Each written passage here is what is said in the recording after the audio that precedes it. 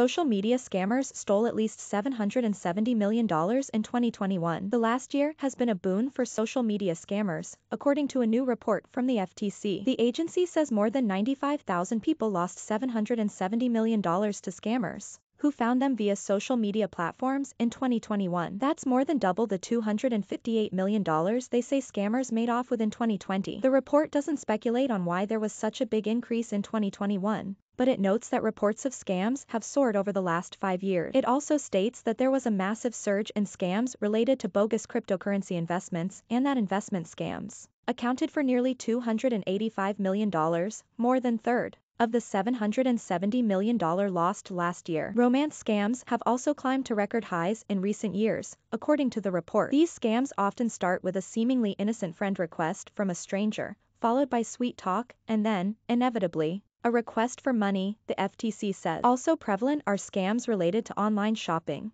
most of which involve undelivered goods that were purchased as the result of an ad on social media. Of note, Facebook and Instagram are the only two platforms named in the report. More than a third of people who said they lost money to an online romance scam in 2021 said it began on Facebook or Instagram. The report states, likewise, the FTC says that Facebook and Instagram were the most commonly cited platform for reports of undelivered good with the two apps cited in 9 out of 10 reports where a service was identified. We put significant resources towards tackling this kind of fraud and abuse, a spokesperson for Meta said in a statement. We also go beyond suspending and deleting accounts, pages, and ads. We take legal action against those responsible when we can and always encourage people to report this behavior when they see it. Interestingly, one of the FTC's recommendations is that users try to opt out of targeted advertising when possible as scammers can easily use the tools available to advertisers on social media platforms to systematically target people with bogus ads based on personal details such as their age, interests, or past purchases.